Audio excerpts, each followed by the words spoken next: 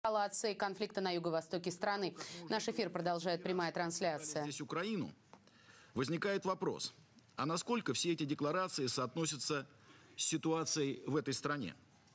Имеют ли они прикладное применение? Или они произносятся для красного словца, но могут быть легко отброшены в угоду политической целесообразности? Применимы ли все эти резолюции и заявления председателей к такому государству, как Украина? Господин председатель, Российская Федерация добивается неукоснительного выполнения минских договоренностей по урегулированию украинского кризиса. Исходим из этого в контактах со сторонами, руководством Украины и лидерами ополчения, а также с представителями заинтересованных зарубежных стран, в том числе в нормандском формате. К сожалению, запланированное на 16 января заседание Минской контактной группы было сорвано Киевом. Представитель Украины в столице Белоруссии так и не появился. Ситуация на земле в последнее время значительно ухудшилась. Эпицентром столкновений стал Донецкий аэропорт. Несмотря на то, что в соответствии с минскими договоренностями он должен был быть передан под контроль ополченцев, этот вопрос так и не был решен мирным путем из-за споров по другим участкам линии соприкосновения. Украинские силовики, э, украинские силовики же продолжали обстреливать оттуда Донецк и другие населенные пункты, вызывая значительные жертвы среди мирных жителей. 15 января президент России направил президенту Украины послание относительно необходимости неукоснительного выполнения сторонами конфликта режима тишины и срочного начала отвода тяжелых вооружений от линии соприкосновения в соответствии с минскими договоренностями. Причем согласно тем координатам, на которых настаивала сама украинская сторона. Я хочу это особо подчеркнуть. Была также передана таблица с перечислением действий сторон по срокам отвода каждого вида ствольной и реактивной артиллерии в соответствии с графиком, к выполнению которого призывала украинская сторона. Кроме того, Россия выразила готовность использовать свое влияние на ополченцев с тем, чтобы этот вариант был принят в духе доброй воли и в целых избежания жертв среди гражданского населения, а также предложила оказать содействие в организации совместно с ОБСЕ контроля за выполнением этих шагов. Подчеркну, это письмо было направлено с учетом просьбы, высказывавшейся в ходе телефонных контактов лидеров России и Украины. Однако вместо того, чтобы дать адекватный ответ на это предложение, украинская сторона возобновила артобстрелы Донецка. Господин председатель, нынешняя эскалация ситуации на Донбассе не случайна. В течение всего срока перемирия украинская сторона в нарушении минских договоренностей продолжала наращивать свое военное присутствие на юго-востоке страны шла усиленная милитаризация и перегруппировка. Объявлялись новые волны мобилизации. Из Киева звучали призывы взять реванш за поражение 2014 года. Параллельно ряд стран, активно поддерживающих партию войны в Киеве, безответственно поставлял на Украину продукцию военного назначения. Очевидно, что события последних дней – очередная попытка Киева реализовать курс на решение внутриполитического конфликта военным путем – что с неизбежностью влечет за собой усугубление кризиса украинского государства и многочисленные жертвы среди мирных граждан. Короче, все это чревато катастрофой. Господин председатель, мы неоднократно указывали в этом зале на то, что пришедшее к власти в результате государственного переворота, так называемое правительство победителей, опирающееся на поддержку вооруженных радикалов, проводит политику, не имеющую ничего общего с восстановлением национального единства страны. Киевом отброшены все документы, направленные на политическое урегулирование внутриукраинского кризиса.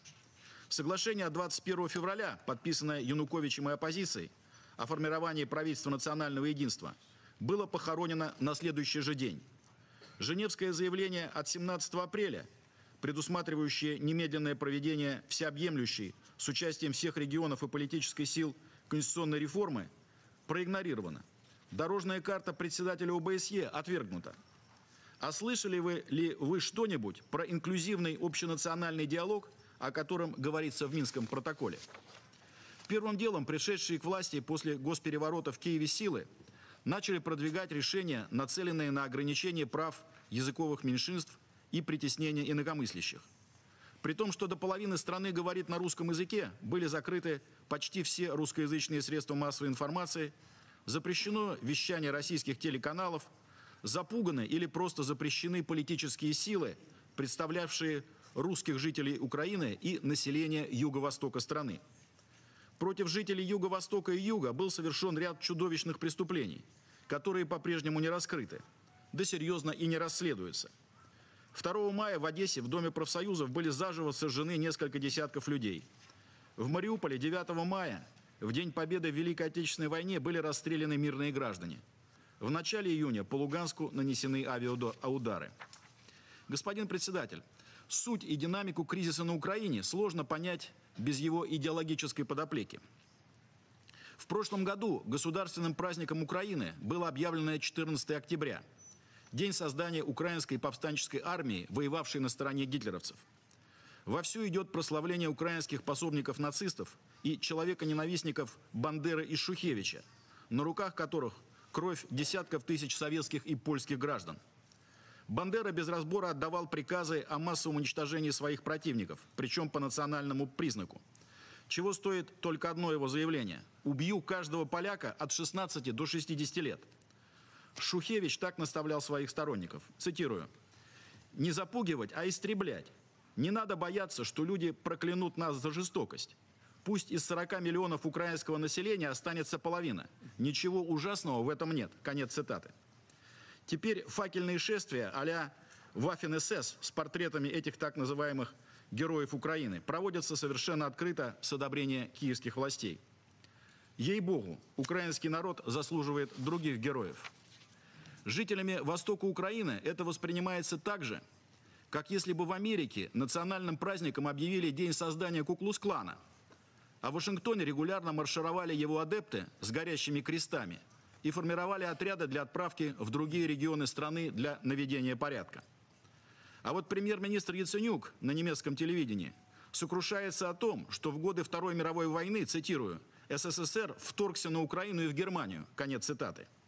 Видимо, он хотел бы, чтобы Украина и сейчас была под нацистской оккупацией. Однако просвещенная Европа как будто воды в рот набрала. Вообще странно, что кто-то, претендующий на цивилизованность, может терпеть такого рода идеологические диверсии. Этими идеологическими установками Киев, очевидно, руководствуется в ходе так называемой антитеррористической, а по сути карательной операции. Против городов Юго-Востока применяются авиация, тяжелые вооружения, артиллерия, запрещенные кассетные и фосфорные боеприпасы, тактические ракеты, системы залпового огня. Подтвержденное количество жертв приближается к 5000. Беженцев и внутренне перемещенных лиц – миллион. Только на территории города Донецка повреждено более тысячи жилых домов, Многие небольшие населенные пункты разрушены практически полностью. Удары наносят по жилым кварталам и инфраструктуре, не считаясь ни с какими нормами международного гуманитарного права и не связывая себя никакими моральными представлениями. Даже крупные западные МПО, которых сложно заподозрить в симпатиях к ополченцам, говорят о том, что украинские силовики не проводят различий между военными и гражданскими целями.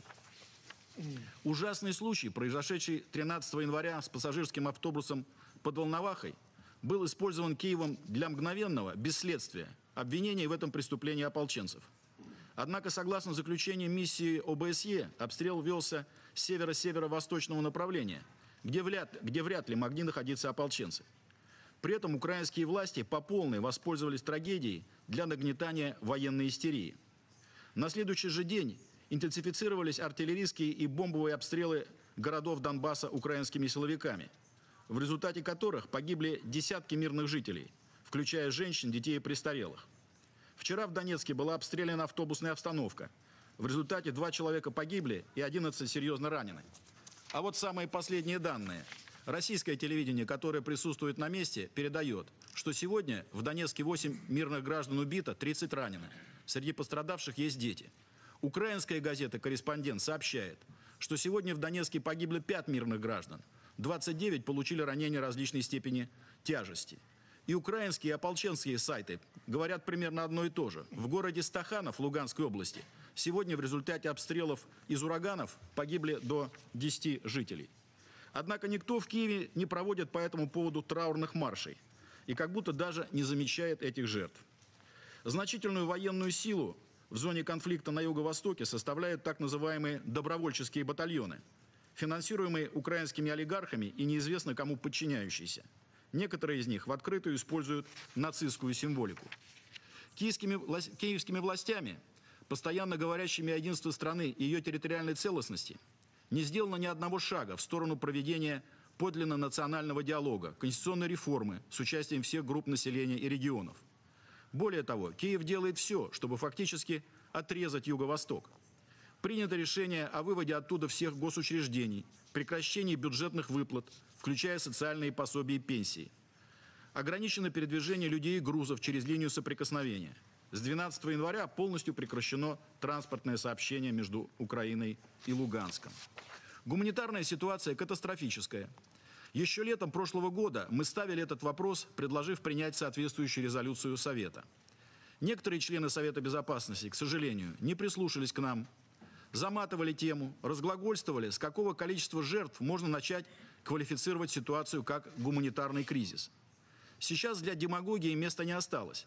ООНовские гуманитарщики рассматривают ситуацию как полномасштабный кризис, требующий полевого присутствия, разворачивания кластеров по разным направлениям гуманитарного содействия и финансирования гуманитарных призывов. В последнее время они отмечают осложнение обстановки с доставкой помощи в связи, в связи с ужес- с ужесточением Киевом пропускного режима. Россия в значительных объемах поставляет гуманитарную помощь на Донбасс. Несмотря на шумиху, которые пытались поднять по этому поводу некоторые члены Совета. При этом мы не прекращаем попыток согласовывать с Киевом, несмотря на его обструкцию, условия таких по- поставок. Заблаговременно информируем о направлении гуманитарных конвоев и номенклатуре грузов. Идет помощь и по другим каналам. На днях России принято решение о перечислении 5 миллионов долларов в фонд Всемирной продовольственной программы на оказание гуманитарной помощи населению Украины.